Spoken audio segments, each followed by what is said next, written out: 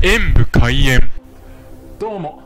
私のつれづれなる日常演舞さんですよね。はい。そのいうわけで本日はこちら。こちら。以前紹介したナッツ類のおつまみなんですけどこれ4種類あるんですね。カシューナッツ焼きチーズあアーモンド焼きチーズ。でシーザークルトンのマカダミアミックスナッツ。これが全部で10それぞれ4つずつ16個あるんですけどこれをどれだけ食べられるのかというのを食べてみたいと思います。あ感想につきましては以前動画を出していますのでそちらの方を参照にしていただければと思います。なので本日は食べるだけですね。ではいただきます。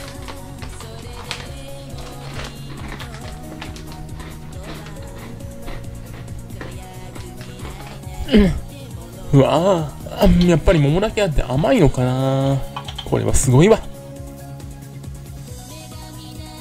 なのでつくづく人間とは不思議な生き物ですね。何に語ってるんでしょうね自分。まあとにかくどれも美味しいです。ザクザクしてるし。えっ、と最初に16袋って言ったと思うんですけど実際数えてみたら20袋ありました。1つずつ種類多かったです。申し訳ありませんでした。お詫びして訂正いたします。でその20袋結局全部食べちゃいましたね。どれもザクザクして美味しかったな塩気があるから結構進んだのかな。ほんとお酒は飲めないのにこういうの好きなんですよね。改めて食べてみるとあれから年を重ねたなとちょっと思ったりもしてしまったりしまなかったり。まあとにかく美味しく。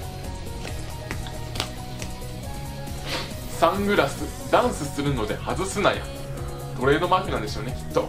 ご視聴ありがとうございました。コメントしていただけるとそしてよろしければ他の動画も見ていただけると動画を拡散していただけると嬉しいです。演武。1000円パソコンおよびスマートフォンのアプリの方はクリックをお願いします。